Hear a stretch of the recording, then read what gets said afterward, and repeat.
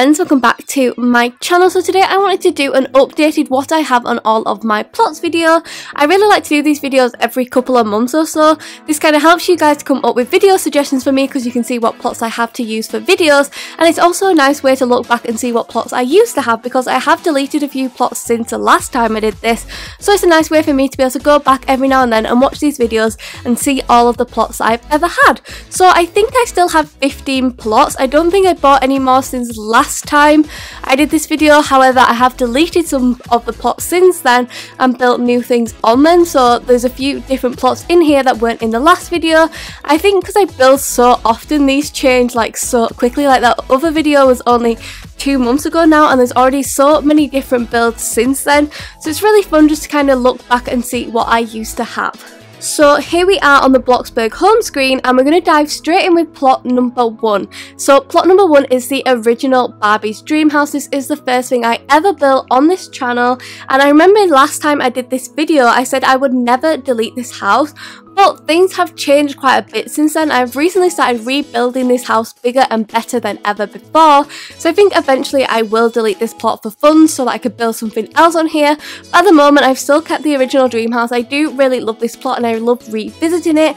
But like I say, one day I probably will get rid of it. But that is plot number one at the moment. Plot number two is one of my favourite and most creative builds. is my Build-A-Bear. I absolutely love this build and I think it's one of the first builds where I really got creative with making my own decals.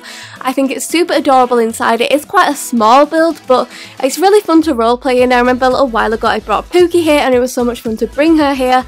And it's just a really, really cute little plot. I tried to get really creative and make it as realistic as possible. So we have like a section where you'd gather the toy, we have like a stuffing section, we have like a naming section, and then a section for clothes. Basically just like a real Build-A-Bear. And I really, really love this plot. Plot number three is my biggest and most expensive build that I've ever made. This is my town. So I started this town in around December 2018 and I didn't finish it completely until June 2019 so it took me a very long time to build. However since then I have gone back in and changed things again but it took me such a long time to build. It's super expensive. It cost around 1.1 million to make this plot but it's one of my favourite plots, it's super fun to roleplay and it is a little bit laggy and takes forever to load in, but it's totally worth it, it's super adorable. And it's another one of those plots where I'm like, I don't think I'd ever delete it unless I remade a new town bigger and better to replace it. So at the moment, plot number three is my town. So plot number four is a newer build and I really really love this build. This is a build I made for Halloween this year and it is this haunted mansion build. I love how this build turned out. I think it's super creepy, super spooky but still kind of a nice house as well when you look at it like it's a very nice kind of designed house. A lot of people have been telling me that I should renovate this house and make it look quite pretty and show you what it would have looked before it was haunted. Well, I'm not sure if I want to do this yet. I do really, really like it as a haunted house. So as much as I think it'd be really, really fun to kind of renovate it and make it into like a nice house, I kind of don't want to lose it yet either. So I haven't decided if I'm going to do that yet. You guys should let me know down in the comments whether you want me to do that. At the moment, plot number four is my haunted mansion. Plot number five is another super creative build that I love. This is my soft play build. I built this quite a while ago. I don't know how long ago now, maybe towards the start of this year. I really, really love how it's turned out. It's another build that's super fun to roleplay in. And it's also a build I love to load up when I'm playing with subscribers because it's just a fun build to play about in. But I wanted it to be like a super realistic, like soft play. Like when I was little, I used to have a soft play where it had like a restaurant area and then it also had like the play area. And then upstairs we have a party area for like children's birthday parties. I just think it's a super cute build and it's just really, really fun. I love bringing Pookie here. But yeah, I really, really love this plot. So that is plot number five. Plot number six is another newer build. This is my campsite build. This is probably like my second biggest build after the town. This build again took a little while to make, but I love how it turned out. It is one of my favourite builds of all time. I just think it's super pretty. I love how outdoorsy and naturey it is. Like, that isn't usually my vibe with builds. I kind of do quite pastely builds, so this is a lot different from what I usually build, but I really love how it turned out. I think it's super realistic for a campsite. Another build that's really, really fun to roleplay in and just another build that's really, really fun to play with subscribers in as well because it's so big. Like you can have a huge game of hide and seek in here. Like it'd be so much fun. But I really, really love how this build turned out. Definitely up there within like my top three, I think, of all my builds. Plot number seven is another plot that I'd say is in my top three of my builds. This is a doll's house I made quite recently. It was based off of the doll's house in my daughter Pookie's bedroom in our family home and I wanted to build it like life size for her to play in. I really, really love how this build turned out. The decals are one of my favourite decals I've ever made because I tried to make them look super realistic to a doll's house so they have like fake furniture on there. And I just think they're super adorable. This whole build is cute and pastel, totally up my alley. I just love how it turned out. It's so much fun for role playing in except for the fact that people can easily break into your house because it doesn't have a front to it. But it's definitely one of my favourites. It's one of your guys' favourites as well. Like, you loved this video when I posted it, even though YouTube briefly deleted the video for some strange reason. And whenever I have this plot loaded up in-game, people always compliment it and say how amazing it is and they know it's a doll's house straight away just looking at it like it's one of those amazing builds where it actually looks like what it's supposed to look like. So I was so happy with this build when I made it. I definitely think I'll keep this one. I don't think I'll ever delete it. I just really really love this plot. Plot number eight is my lakeside family home. This is a family home I made that I really really love. I don't use it for anything. It's not like our family home but it was just one of those builds that I did where I thought the house was so nice that I wasn't ready to delete it but it's one of those plots that I will eventually delete to build something more interesting on there like the campsite and doll's house and stuff like a proper build. I, I don't really keep houses unless I'm using them so eventually I will replace this with something else. At the moment it's this beautiful family home. I really love the colour scheme of this house.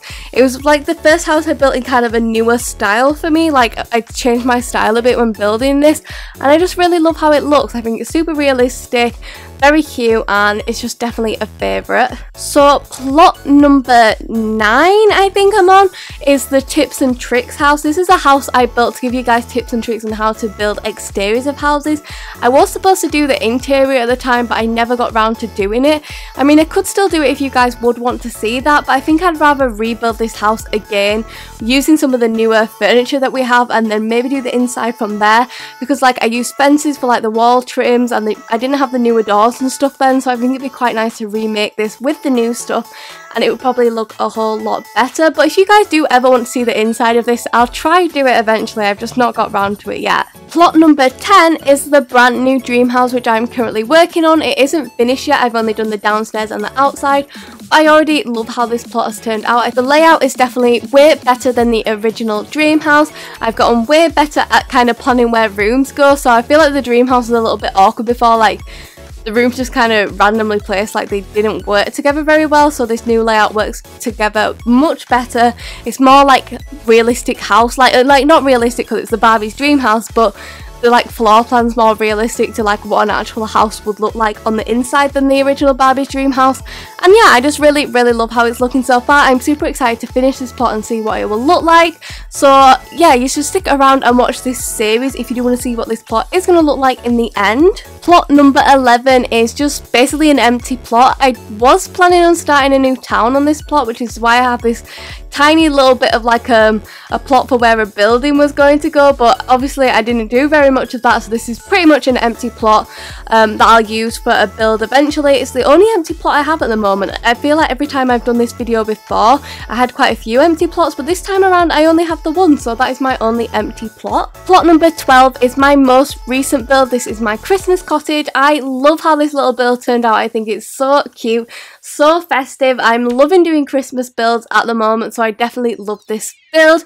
It's the only Christmas build I've kept so far. I mean, apart from the little um, hot chocolate truck which will come to soon but this is the only like proper Christmas build I've kept. I didn't keep the gingerbread houses but I really really like this build. I don't know how long I'll keep it for. Maybe me and Pookie will do a role play in it and we'll have like a little cute Christmas holiday at the moment I just have my Christmas cottage on plot number 12. Plot number 13 is another house build that I've kept.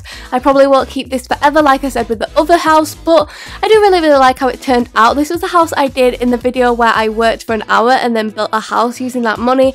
I absolutely loved how the plot turned out. I think it's so cute. I love the colour scheme. It was definitely a little bit more closer to summer than we are right now when I made this because it's very bright and colourful compared to some of my more recent builds but I really love it I just think it's really really cute and that's why I've kept it at the moment my friend Ashley absolutely loves this house and she's recently rebuilt it for herself and it looks so adorable so I'm keeping it for the time being but it's another one of those plots where eventually I will delete it for the funds and build something else on there. Plot number 14 is my mini build plot. This is a series I've been doing on the channel where I do some mini builds. Most of the times have been trucks. So we have like a moving truck, we have a candy floss truck, we have a flower truck, and then the hot chocolate truck, which is the most recent mini build. I just think they're really fun. They're really good for when I have like a, a building block and I don't know what to make. To make just a tiny little build to get me back into it is really fun, and I've really been loving doing this mini series. And last but not least, plot number 15 is our family home. I love this house. This is definitely my favourite house I've ever made. You guys really love this house. It's from a series I made on my channel called Let's Build a House Together, which I love the house so much that I decided to make it mine and Pookie's family home. And I just really, really do love how this house looks. I think it's super adorable. My favourite part of it is Pookie's bedroom because it's so cute but I also love like the kitchen, I love the garden. It's just a really really nice family home and I've seen so many people rebuild this and it's been so fun to go in and look and see how you guys have changed this up to make it more your own.